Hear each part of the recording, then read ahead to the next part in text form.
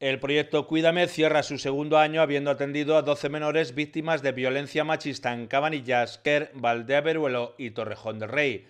Una iniciativa conjunta en la que colaboran los ayuntamientos de los cuatro municipios atendidos por este centro.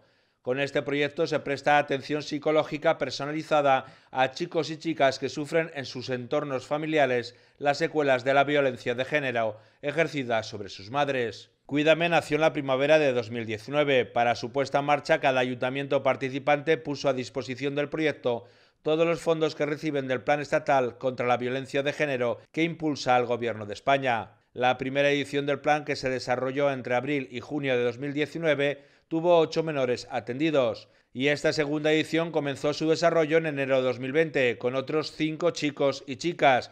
Uno de ellos ha repetido en ambas ediciones. Este segundo año, aunque inicialmente el proyecto debería haber finalizado el 30 de junio, la situación sanitaria y los meses de confinamiento alargaron su desarrollo hasta el pasado 17 de septiembre. Precisamente la crisis sanitaria y el confinamiento han sido esta vez uno de los principales inconvenientes que ha habido que sortear para poder desarrollar el proyecto, según se ha puesto de manifiesto en la reunión de hoy.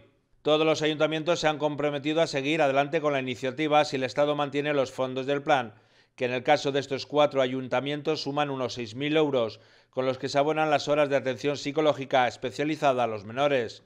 Actualmente hay otros siete niños y niñas a la espera de sumarse a la iniciativa de los cuatro municipios participantes.